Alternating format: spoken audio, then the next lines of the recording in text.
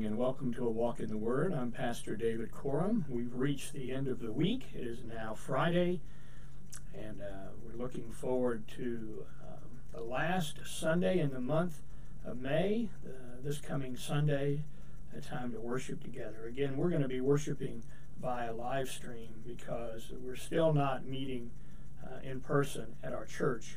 We hope you'll join us on Sunday at 1030. You can find it on, find it on our website at livingwaters-ky.org, or you can find it on YouTube at our YouTube channel. Just go to YouTube and, and look for Living Waters Community Church, Oak Grove, Kentucky, uh, and you'll find our channel and you'll find the live stream there, or on Facebook. Uh, you can see the Facebook Live. If you go to our uh, to Facebook and go to Living Waters Community Church, uh, our Facebook page, and like us, then when that live event comes on, you'll be able to see it. Uh, any, any of those ways work just fine. We're glad that, that you've joined us. Um, and we are concluding John chapter 11 today. Now, if you remember, when we started, actually last Friday, it was the beginning of a saga of Jesus being notified that Lazarus uh, is, is sick unto death. Uh, we discovered that he almost as soon as the messenger was sent to tell Jesus, a one day journey to get to where Jesus was from Bethany, um, that, that Lazarus had already died. Uh, then Jesus remained where he was for two days, and then he and the disciples made the trip back, making that the fourth day before he arrived in Bethany. Uh, he has he meets with Martha, the sister of Lazarus, and then Mary, the other sister, and then he has to be taken to where the tomb was. He goes there and he gives thanksgiving to God, and then he cries in a loud voice, Lazarus, come out. And Lazarus, who was dead for four days, walks out of the tomb. And that's where we pick up the story. But we're going to begin with a word of prayer. Father, we thank you for this week and for another week of a walk in the Word. Father, we pray that as we get ready for the weekend, that you would use that opportunity for us to, to invite someone to uh, join us in, in worshiping this Lord's Day. Father, as we now partake of your word and we see the aftermath of the raising of Lazarus from the dead, let us be reminded that it all was part of your plan, that nothing catches you by surprise. And we give you thanks for that in Jesus' name. Amen. All right. We are looking at verse 45, John chapter 11, verse 45 to the end of the chapter. And so we know the last thing that happened before uh, yesterday, be- when we ended, was the man who had died, Lazarus, came out. His hands and feet were bound with linen strips, and his face was wrapped with a cloth. And Jesus said, Unbind him and let him go. That's where we left it yesterday. So now, verse 45 Many of the Jews, therefore, who had come with Mary and had seen what he did, believed in him. Remember, many of these Jews were hired mourners who had come because they were paid to come and to weep and to wail over the death of someone. This was their occupation. How would you like to have that job? Well, that's what they did for a living. But many of them believed in Jesus Christ, it said. But then, verse 46 but some of them went to the Pharisees and told them what Jesus had done. So here we see a division among the Jews. Some of them saw what Jesus did, raising Lazarus from the dead.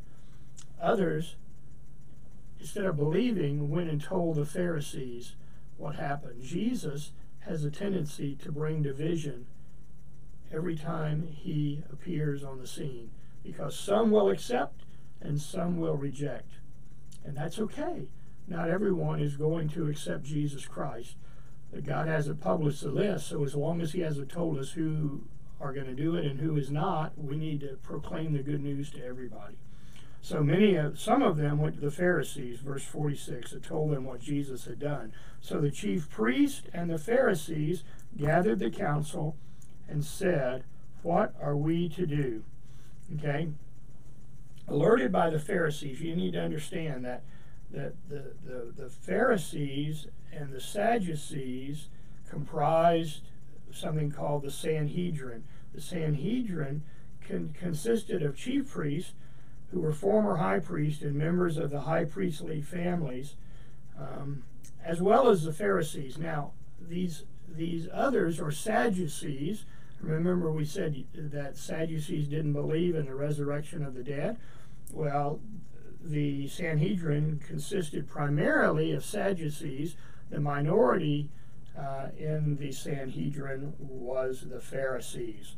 Okay, uh, the Pharisees could not take by themselves any judicial action. They were kind of like um, the House of Representatives today. They can't they can't get anything done without. I'm sorry, it's like the Senate. Um, they can't get anything done if you're a Democrat without the majority agreeing to it. Well, that's the way it was here. The, San, the Sanhedrin was dominated primarily by the chief priests, and virtually all of the priests were Sadducees. so the Pharisees consisted, while they where they were influential, they consisted of a minority. And here's the deal, though: the Pharisees and the Sadducees both hated Jesus. So this is a case of the enemy of my enemy is my friend. Do you get that? The enemy of my enemy. So my enemy is the Sadducees, if I'm a Pharisee. The enemy of my enemy, my enemy is the Sadducees, but their enemy is Jesus. So the enemy of my enemy is my friend. Got that? Okay. So the chief priest and the Pharisees gathered the council and said, What are we to do? For this man performs many signs. Verse 48 If we let him go on like this, everyone will believe in him, and the Romans will come and take away both our place and our nation. you got to understand, Jesus threatened literally their way of life, he threatened their very existence. Rome allowed the Jews to function primarily. Um, independently as long as they didn't create a problem for Rome. But the minute that they create a problem for Rome, then Rome, the heavy boot or the heavy sandal of the Roman Empire, would come down on their necks. And they were concerned that if they didn't stop Jesus,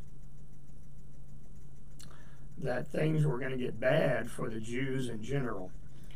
But one of them, verse 49, Caiaphas, who was high priest that year, he became high priest in, uh, in uh, 18 uh, AD.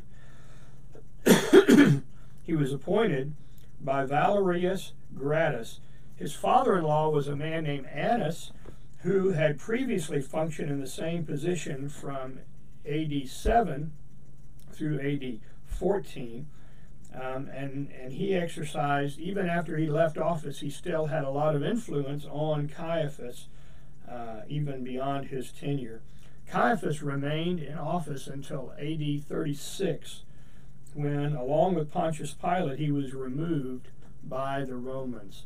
Um, and he took a leading part in the trial and, and the condemnation of Jesus. In his court or palace, the chief priests, that is, the Sadducees, and Pharisees assembled and they plotted together to arrest Jesus by night and have him put to death. So one of them, verse 49, Caiaphas, who was high priest that year, said to them, You know nothing at all. 50, nor do you understand that it is better for you. I want you to hear this, and I want you to hear what he says because this is very prophetic. He didn't know what he was saying was a prophecy, but I'll explain it to you after I read it. Nor do you understand that it is better for you that one man should die for the people, not that the whole nation should perish. He did not say this of his own accord, but being high priest that year, he prophesied that Jesus would die for the nation, and not for the nation only, but also to gather into one the children of God who are scattered abroad. Did you catch it? Did you get what he said? He was saying, look, it's better for one man to die than for all of us to go down in flames. What he didn't realize is that that's exactly why Jesus came. He came so that you and I don't have to die in our trespasses and sins. You and I don't have to die. One man died so that we can have eternal life. But but but he goes even more so. Not only the children of God who are scattered abroad. He's talking about the Jews and the diaspora, the, the diaspora. But the truth is, it wasn't just for the Jews, but also for the Gentiles. The Gentiles became part of, together, formed what is one group known as the church. Verse 54, I'm sorry, 53. So from that day on, they made plans to put him, that is Jesus, to death. So the plan was solidified after the resurrection of Lazarus. When Jesus raised Lazarus from the dead, that was like the final straw. They got together and said, Look, we're going to have to put an end to this Jesus guy. I have to put an end to him. And so look at verse 54. Jesus therefore no longer walked openly among the Jews, but went from there to the region near the wilderness to a town called Ephraim. Now, if you do a search in the Bible, you may not find Ephraim. Um, uh, it's probably the Old Testament city of Ephron. You can find a reference to that in 2 Chronicles 13 19. Um, the modern day village that's, that's there today, if you were to go there today, is called Et Tayebe. And it's located about four miles northeast of Bethel, about 12 miles from Jerusalem. It was far enough away that Jesus could move freely in that area without being fearful of the Jews coming to arrest him. And it says, and he stayed there with his disciples. Now, verse 55. Now, the Passover of the Jews was at hand. Okay, how do we know that Jesus spent about three years in his public ministry? It's because the Gospel of John gives us the reference to three Passovers. Well, it came once a year, so this is the third one. So we know that the Passover of Jews was at hand. This is the third Passover that Jesus celebrated with his disciples. And many went up from the country to Jerusalem before the Passover to purify themselves.